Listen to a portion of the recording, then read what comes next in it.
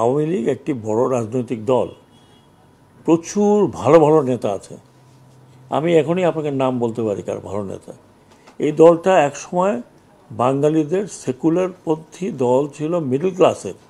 মুসলিম যখন ছিল, সেটা ছিল আপার ক্লাসের বাঙালি আপার ক্লাস মুসলিম লীগের ছিল।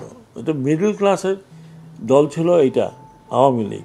যে জন্য আপনি দেখবেন যে মিডল ক্লাস তৎকালীন ইন্টেলেকচুয়াল যারা ইউনিভার্সিটির এখানের ওখানে, তারা এখনও আছে। এখন অ্যাক্টিভ না থাকলে তারা সাপোর্ট করে। একটা দলকে আপনি এত বড় মানুষের দল যিনি এদেশ স্বাধীন করেছেন, এতে তো কোনো সন্দেহ নেই। কারও সন্দেহ থাকার কথা না। উনি স্বাধীনতার নেতৃত্ব দিয়ে, ওনার নামে ওনার নামে মুক্তিযুদ্ধ হয়েছে, স্বাধীনতা হয়েছে। তারপরেরটা বাকি বাকিটি সেই দল এরকমভাবে ভেঙে পড়ে যাবে, যে লোকে এখন লুকিয়ে লুকিয়ে বেড়াচ্ছে যে আবার পেলে না কী জানি হয়। আমি ওনাদেরকেও আশা দিচ্ছি কথা কথা দিচ্ছি যে আপনারা দল গুছিয়ে নেন, আপনাদের দলকে তোকে ব্যান করা নেই। আর এই ব্যান করাটা একটা দলের ব্যান করা আনলেস সে যদি ওই ধরনের জঙ্গি না হয়, যে কোনো দল পলিটিক্যাল পার্টি ব্যান করা উইথ ব্যাড কালচার এই শাহবাগে বসে বসে আন্দোলন করছেন ওনারা কি কি অ্যাচিভ করতেছেন? ওনারা কি অ্যাচিভ করতেছেন? যদি অনেকে বলে কোনো দলের পক্ষে ওনারা কাজ করছেন, তো শোনেন, একবার চিত হয়ে পড়ে গেলে আপনি মনে করেন উনি আবার আসবেন বিজেপি আছেন হ্যাঁ উনি আমার একদম মানে অনুস্তুল্য উনি নিজে আমাকে বলেছেন ভলান্টিয়ারলি যে ওনাদের যে সামনে পূজা আছে, যেটা জন্মাষ্টমীর পূজা। জন্মাষ্টমীর পূজাতে দরকার হলে এই বিজেপি যা দরকার হয়, নিরাপত্তা একদম নিবিড় নিরাপত্তা নিরাপত্তা না। আর আপনারা শোনেন তিন স্তর, চার স্তর, কোনো চার চার, পাঁচ স্তর নাই। নিবিড় নিরাপত্তা দিবে যাতে কোনো ধরনের কিছু না হয়।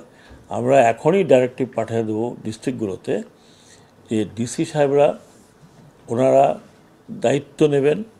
যেখানে যেখানে হবে, যতটুকু নিরাপত্তা দেওয়া দরকার। যদি পুলিশ কম হয়, তাহলে অন্য কাউকে নিয়ে আসবেন, আনসার নিয়ে আসবেন। আনসার নিয়ে আসলে ডিস্ট্রিক্টে আমাদের যেখানে রিজনাল হেডকোয়ার্টার আছে বিজেপির রিজনাল হেডকোয়ার্টার আছে, ওনারা চাইলে ওনারা ডেফিনেটলি পাবেন। আমি চাই না যে কোনো রকমের কোনো কী বলে থার্ড কলামিস্ট একটা একটা একটা কিছু করুক করে আমাদের বদনাম করুক, দেশের বদনাম করুক, সেটা ওনারাও চান না। এবং এবং এই যে বলে যে ওদিকে চলে যাব তো ওনারাও জানেন, ওখানে গেলে সেকেন্ড ক্লাস সিটিজেন হয়ে কেউ থাকতে চায়, নিজের দেশের মধ্যে থাকতে চায়। আর বেশিরভাগই আমি যেটা মনে করি, এতে কোনো ধর্মে, ধর্ম, ধর্মভিত্তিক কোনো মারামারি হয় না।